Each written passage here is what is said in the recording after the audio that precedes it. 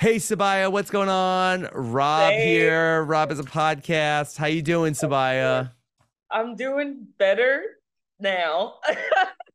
Yes. I mean, I know it's the anticipation and of course like the draft stuff. I haven't been privy privy to that before now. And it's so kind of like it's so anxiety ridden, you know, you're meeting fans and people are saying like, "Oh, you know, you're my winner pick," and da da da. You're like, "Oh man," but you know it's gonna be great TV. So you're happy Yeah. about that, but at the same time, in the back of your mind, you're just like, "Oh my god." yeah, well, Sabiyah, you know you were my winner pick on the season. I stand by it. I think that you were a great player at the game. I think you got unlucky with the tribe that you were on, but I think if you started on uh, Belo or Reba, I think you'd be right there in the middle of this thing. And so I have no regrets.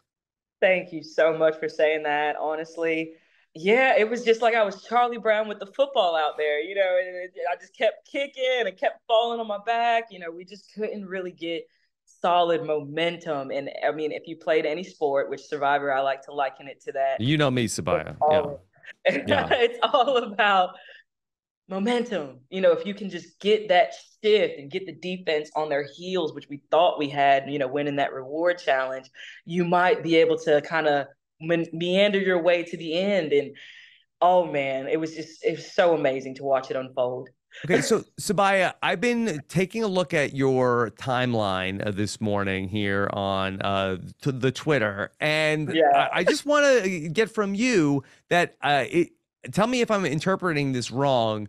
I feel like that uh, what uh, it seems like that you you have uh, are implying that hey, you didn't so much turn on Caleb as much as Caleb had already been working with Emily. Is that how you saw it in the real time that Caleb already was working with Emily?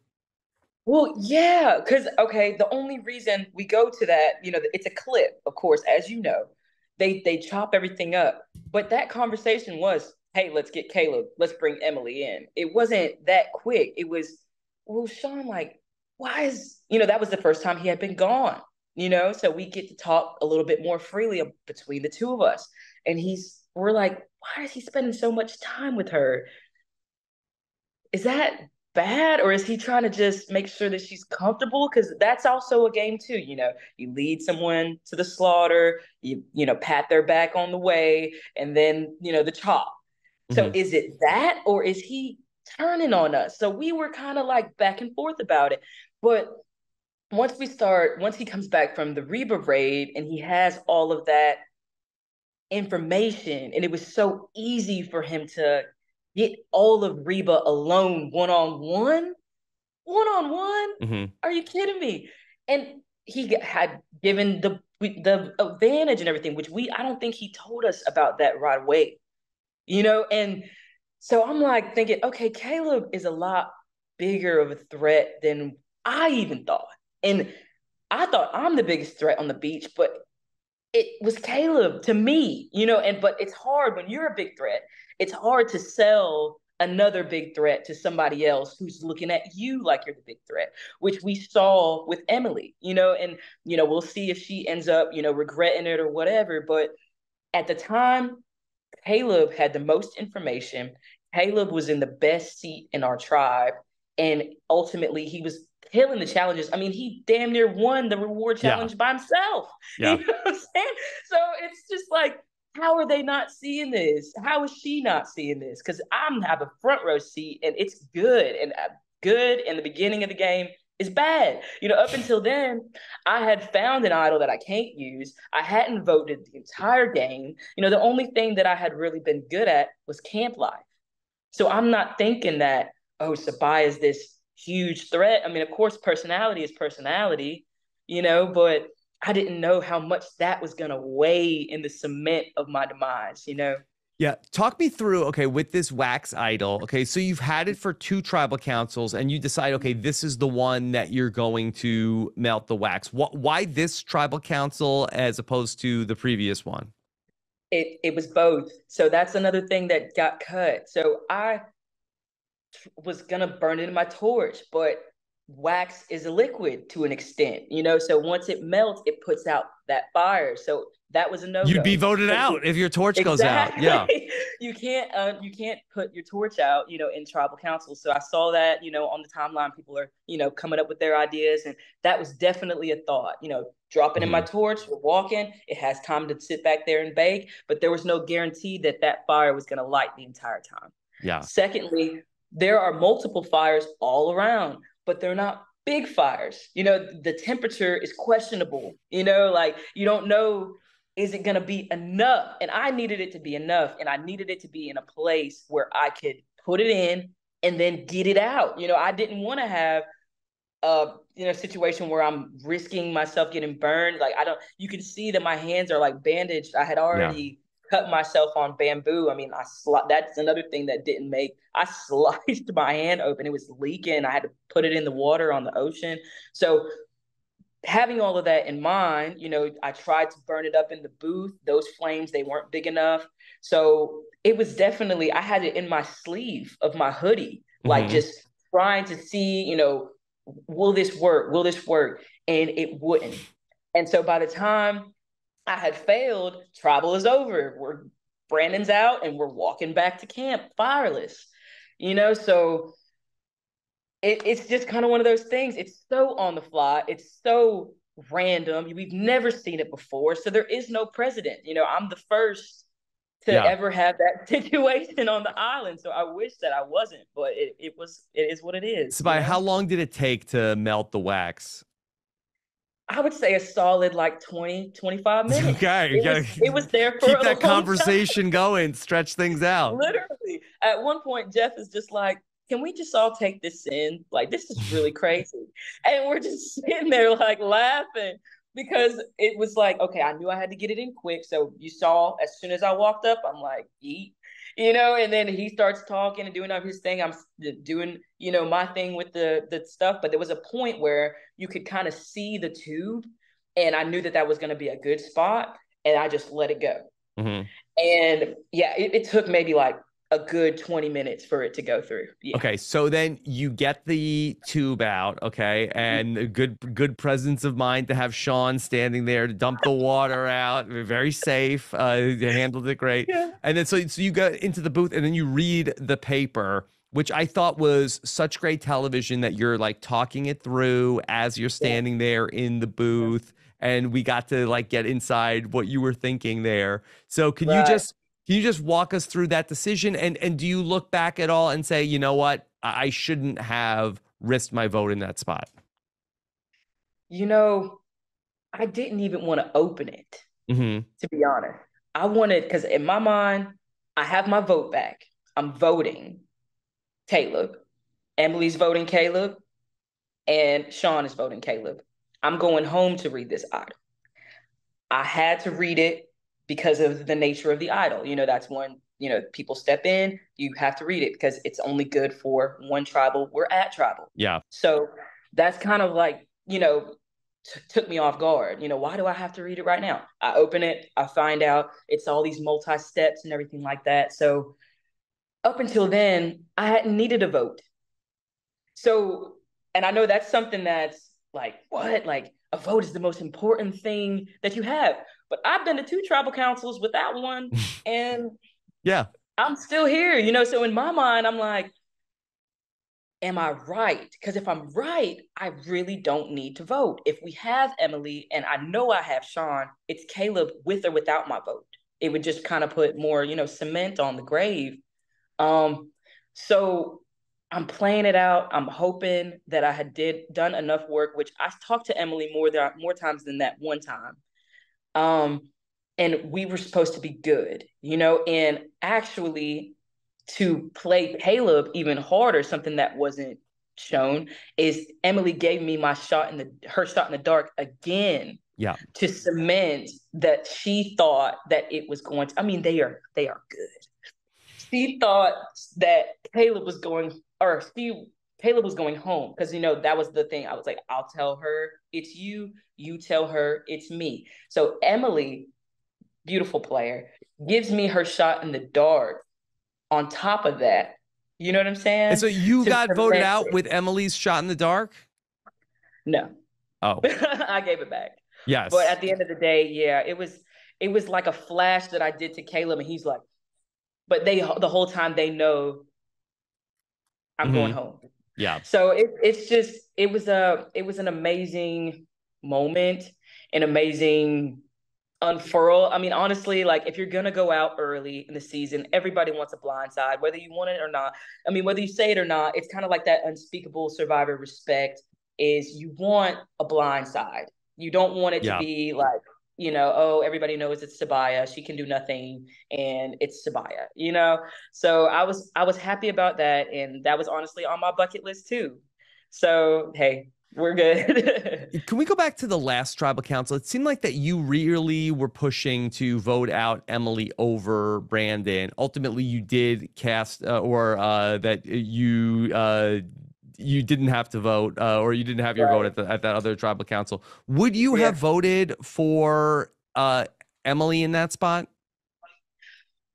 Okay, so yeah, to me, she was the biggest threat. But when you don't have a vote, when you're having the strategic conversations, you can't really put your foot down ever, you know, because it's like, okay, this is Sabiyah's opinion. She can't do anything to act on it. And the only people that know that are Sean and Caleb, you know, and mm.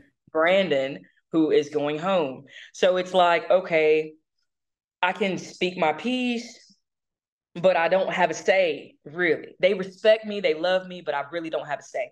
And the more they kept saying Brandon, the more I'm like, okay, you're right. I can't lift Brandon at a challenge again. I can't, you know, we we do have, you know, such a egregious deficit when it comes to challenges. I mean, this it was really crazy. It was like a tribe, you know, out of hell with all of our different, you know, talents that really didn't mesh well together. Um, so ultimately, I got on board. But in in the beginning, Emily, you know, she had been out for me from the gu- the jump, you know, and she was supposed to be on day one. So it's just kind of one of those things where I had no power, yeah. you know.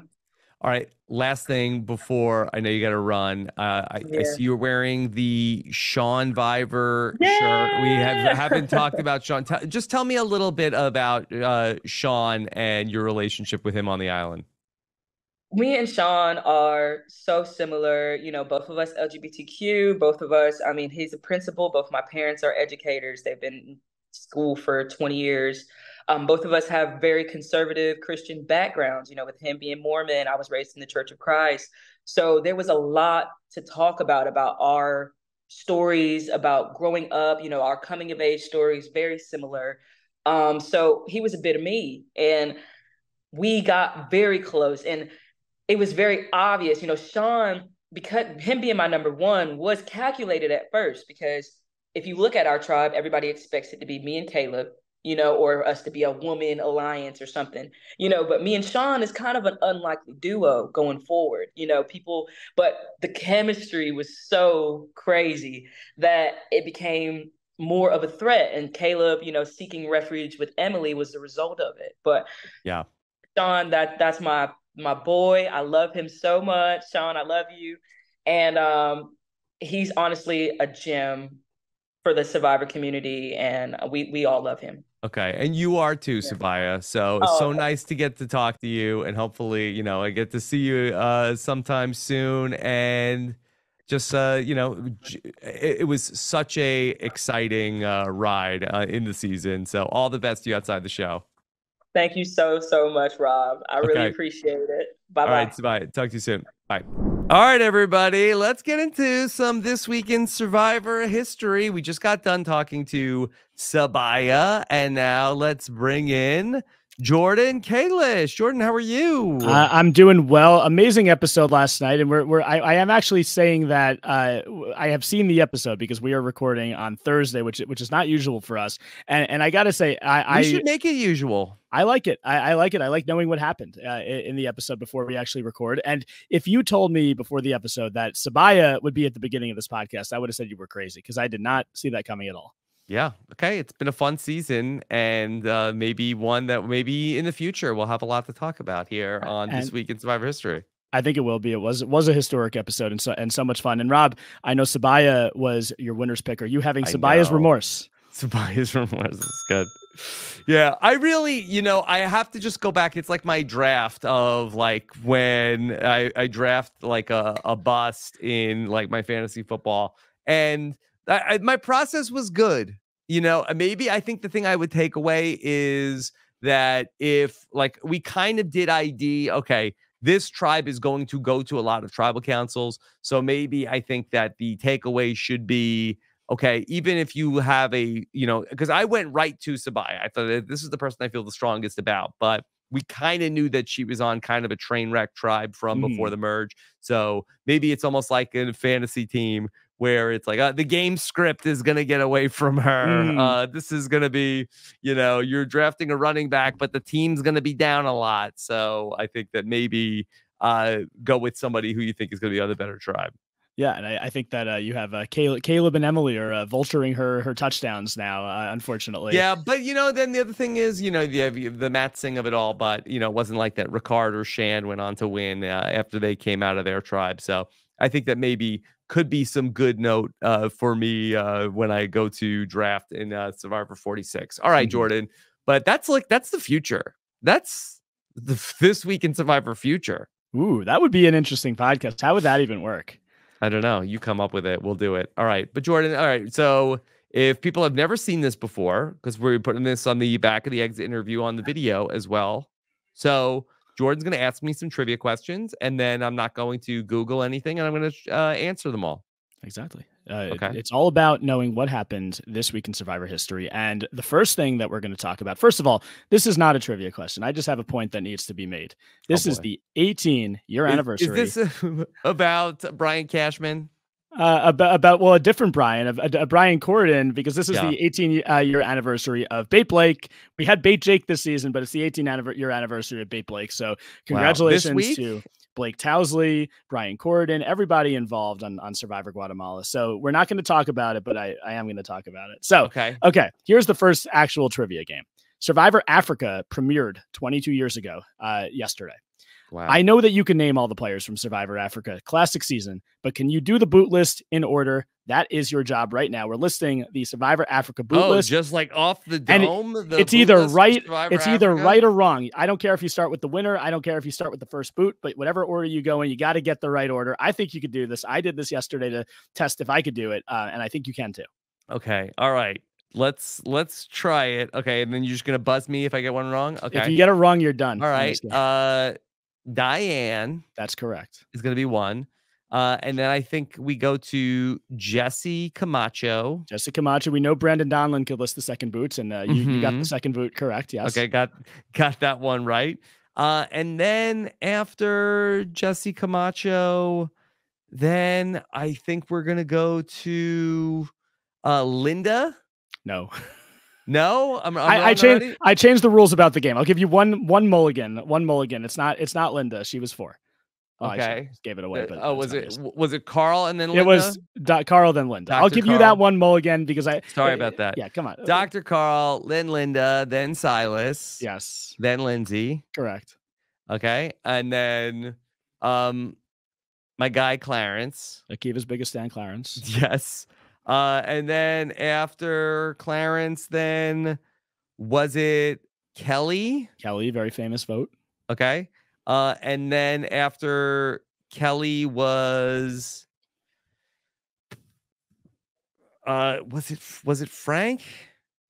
It was Brandon. Brandon uh, Brandon Brandon went out the the vote right after okay. uh, he he me- he messed up on the on the Kelly vote by by siding with the wrong side. So the the rest of it was Brandon, Frank. Then we had Kim Powers, T Bird, Big Tom, Lex, Kim Johnson, Ethan. Yeah. So unfortunately, right. you do not win that game. But there's there's more uh, trivia questions for you. It's uh I I think if I said name the Africa contestants, that's just too easy. I, yeah, uh, at this point, so. I think we could have got there. All right. So all right, look, 22 years. Yeah, it's been a, it's at been some while. point, you know, the more stuff I keep putting in here, like some other stuff has to fall off. Yeah, it's it's like it's like melting the candle at, at tribal council. You have to like melt some some useless knowledge out of your brain, and then uh, you have to take in the survivor knowledge that re- that really matters. So, yeah, but I will say, I think that we have some some more questions to go. I think you could recover here, Rob. I don't okay. I don't think that this is a done deal. Because we're going to go to a season that I know you love. I know I love it. Survivor Pearl Islands. Okay. Michelle Tesauro was supposed to pretend to be bad at, gro- at gross food eating so that she'd be picked by Morgan to compete in the tiebreaker round. However, she displayed how strong she was at the challenge, causing Who to be chosen for Drake instead. in so the who did- In the tiebreaker, who did the tiebreaker? It was supposed to be Michelle, but she was too good. Um, was it? Uh, Oh, I have multiple choice for you, by the way. I Okay, can, all I can give you multiple I- choice. yeah. I think you know who's on who's on uh, uh who's on the Drake tribe, but we have A Fair Play, B Sandra, C Christa, D Trish. I think it was Trish the Dish. It was not Trish the Dish. It was It was Sandra, Sandra. Oh my god. two time Survivor winner. Rob, what's going on? Uh, Your winner pick goes out, and all of a sudden you're forgetting everything from from Survivor history. That's Maybe right. this is why Sam said don't be too mean because he foresaw the fact that this would be a rough week for you. Mm-hmm. Were you Yeah. up late last night, Rob? Come on. Not not particularly. I mean, it's a little bit ninety minute episode and everything, but It's okay. So so unfortunately that is incorrect. So still uh no points on on the TWISH this week, but we're gonna go uh 19 years ago Saturday, October 14th, 2004, at the Vanuatu tribe swap, Yasur and Lopevi had to choose tribe leaders. One would divvy up the tribes and the other would choose which tribes they'd end up joining. Who were the two players chosen as leaders? One divvied them up, the other one chose their tribe. yeah. Um, I want to say Scout was involved. Was Scout one of the people? Scout did break up the two tribes, but who Okay. chose their tribe? Which leader chose the tribe? Um, I'm gonna say I will go with Sarge. So Sarge is somebody who is uh, n- no uh, stranger to the verbal rebus because his name is Lee, and I feel like that's a common syllable. He is also the other leader uh, on Survivor Vanuatu. So yes, Sarge and Scout, The, two leaders. and you are on. Yes, the Lee, the Scout, the, the the Sarge Lea Masters. Okay. Mhm. Uh, we are going to the last question before the verbal rebus. You are finally on the board. So congratulations. You get two points because that was two people. We're going to Okay. go 17 years ago today from October 12th, 2006, Cook Islands. Which three Aitu tribe members accidentally found the Raro tribe while exploring their island? So they were Okay. on they were right. on Aitu. They they were uh, looking around. I don't know what they were looking for. Uh, may, maybe they were uh, look, Yeah. looking for Drew digging in the woods. Uh, All right. But um, who, who are the three? I'm gonna say, uh, is it Ozzy, Flicka, and Cowboy? Yes, the three Musketeers. They are the th- they are the three players on the DVD cover of that season. Correct. Uh, everyone remembers. Uh, well, I mean, Ozzy's remember, but but yeah, Flicka and Cowboy were, were Ozzy's uh, two two friends um, who who would end up uh, getting voted out pretty soon after this. But yes, the three of them were were somehow somehow uh, ended up on the Raro Beach. Uh, it was not Mhm. a tribe raid like we like we saw in Survivor. Yeah. Did they take a boat to get there? Or they just walked to the other side of the beach. Um, I I think there was water involved. I don't remember if it was a boat, but they were walking. It might have been just around the island. I'm not 100 percent sure, but Mm-hmm. Yeah, uh, they somebody did got find fired themselves there. day. Yeah. I'm I'm sure I'm sure they did, but it was good. It was like oh, not good, but like okay TV. I mean, for for- Mhm. for pre for pre merge Cook Islands, I guess it was one of the more memorable moments. Yeah. Um, but okay, so you so you finished strong. I, I can't say that this is a win this week because I think that's Okay. uh, taking it too easy on you. But you did you did finish strong. I think going into next week. Really, I think what you should do is probably like have like come in with like a, a this is the rules of the game. You need this many points to Well, win, I mean, I think that's and in not my just head. let it be a judgment call. I, I've done that in the past. I prefer the judgment call. I think it it, it uh, you know Mhm. adds to more more controversy on the quiz, which is what we're looking for. but I will I will say I think you had to get the the boot list plus at least uh you know if you didn't get the boot list, I think you would Mm. have to get the rest of the questions right. So okay, uh, unfortunately, because of the uh, Pearl Islands, uh, it's it's not going to happen this week. But sorry about I think it's your first loss of the season. Um, there's there's no they say there's no moral victories on Twitch, but I do think you have momentum going into uh to next week, and you still get the what verbal. Sabiyah rebus. needed. Yeah. Exactly. I know. So you, you still you still get the verbal rebus though, which is uh, everybody's favorite. Um, okay, we are looking for the first name of Survivor's former casting director, Okay.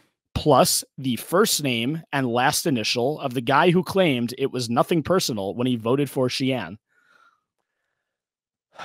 The The first, first, name. the, the first name and last initial. So what what do we call this person? Okay. Okay. Minus the first name of the only Tambaqui tribe member to play on All Stars. Okay. Plus, Cindy got one, but the rest of her tribe did not. Say, uh, say this again. Cin- Cindy, uh, Okay. Cindy from Guatemala got one, but the rest of her tribe did not. Okay. Plus, the type of ruin featured on Survivor Guatemala. So they were playing in ancient ruins. This is the type of ruin featured on Survivor Guatemala. So stupid. I know. I when I wrote this one, I was like, Rob is going to hate this, but the but everyone listening is going to love it. okay. Is it a friend of the pod, uh, Lindsay Carmine? It is Lindsay Carmine. We have Lynne Spillman, Survivor Formers casting director, plus Rob Z. Uh, he voted for Shii Ann and said it was nothing personal, even though it was very Mhm. personal. Minus There- you, there was no other way that you could get a Z in there than to pl- plus a Rob and minus a Rob. Well, I plus the Rob Z and minus the Rob C, but I didn't include the C. I just did the first name. I think this was the more fun way to get to the Z. Uh, I, I've used Zo- Zoe Zanidakis too many times in this, Rob. I needed to get I need to get Rob with uh, two B's two B's guys in here. So yeah, it was uh, Lynn plus Rob Z minus you. You were the only Tambaqui to play on All Stars.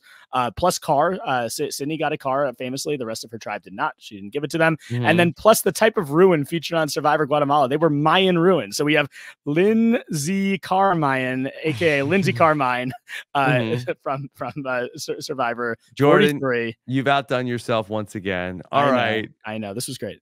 Great job by you, of Thank you. course, uh, Jordan. I'll, keep you here for us. uh, We can end the show. Uh, Let's do it. No, because let's let's, let's Yeah. talk. I, I got I got I got 15. no, no, I have- no, no. let's dish, Rob. I have 15 minutes until I have to go out for dish? recess. What do you want to dish about? I don't know. Whatever. What, what- what's uh, what's going on in the RHAP? You got any world? thoughts on buddy been fun. games? Buddy games? Uh, What is that? Is that like Squid Games? a little bit. You'd like it. Yeah.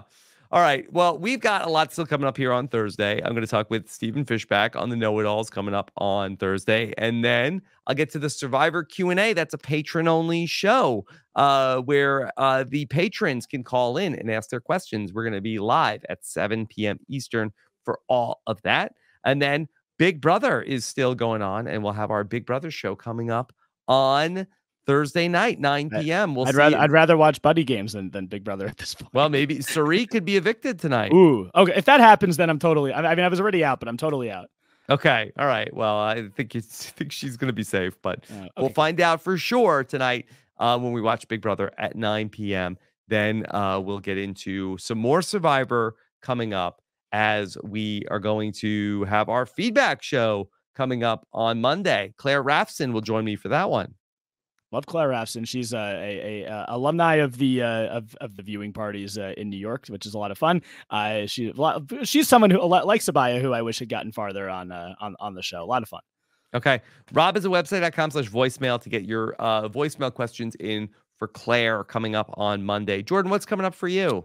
Uh, for me, well, I I uh, of course have um hoping the uh, the Jets could pull one out against the Eagles this Sunday, and I'll I'll Yeah. be back next week uh, uh with uh, this week in Survivor history. And again, I just alluded to uh, the viewing parties in New York. Uh, I was finally back at uh, at the bar that we go to in Manhattan. If you're interested, uh, let let me know. I'll I'll tell you where we go. And uh, yeah, it's it's always a lot of fun. We sometimes even have uh, survivors will show up once in a while. Uh, podcasters, fans. It's a fun it's a fun night. And if you want to watch Survivor with friends and you're in New York City, come and watch. All right. Um, and then uh, we've got our own uh, viewing party events coming up here. robhasawebsite.com slash events for ticket information for our shows in Brea and New Orleans still to Ah. come uh, this fall. So be sure to check that out. Thank you so much for joining us. Hit that subscribe button if you're watching us on YouTube. Take care. Have a good one.